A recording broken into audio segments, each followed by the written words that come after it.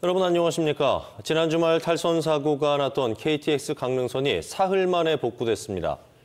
큰 인명 피해 없이 빠르게 정상화된 건 천만 다행이지만 돌이켜보면 아찔하기 그지없는 사고입니다.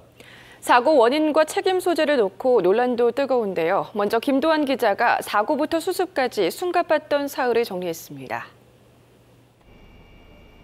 사고 열차는 지난 토요일 아침 7시 30분 승객 197명을 태우고 강릉역을 출발했습니다.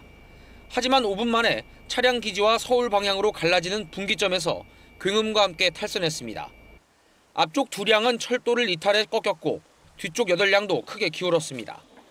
15명이 다쳤고 승객들은 외딴 철로 위에서 서로를 도와가며 가까스로 탈출했습니다. 앞으로 갈수록 좀 많이 기울어져서 어, 이렇게 어지러울 정도로 많이 기울어져 있더라고요. 그래서 어, 문은 이렇게 다들 이렇게 군인분들이랑 다른 분들이 잡아주셔서 나올 수가 있었어요. 사고에 대한 비난과 함께 그나마 인명 피해가 거의 없었다는 안도가 교차하는 가운데 즉시 긴급 복구 작업은 시작됐습니다. 대형 기중기로 사고 열차를 바로 세우고 망가진 철도는 침목을 하나하나 새로 깔았습니다.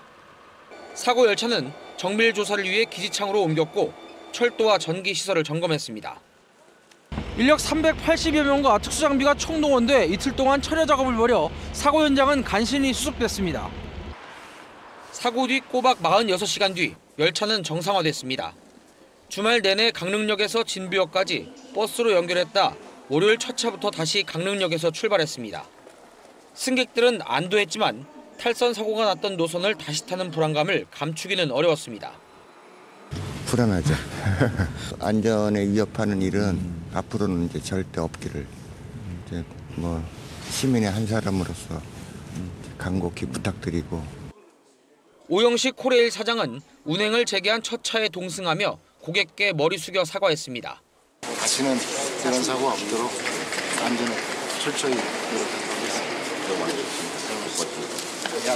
국토부 항공철도사고위원회는 사고 원인을 밝히기 위한 조사를 시작했고 철도특별사법경찰대는 사고 경위 전반에 대한 내사에 착수했습니다. 기원뉴스 김도환입니다.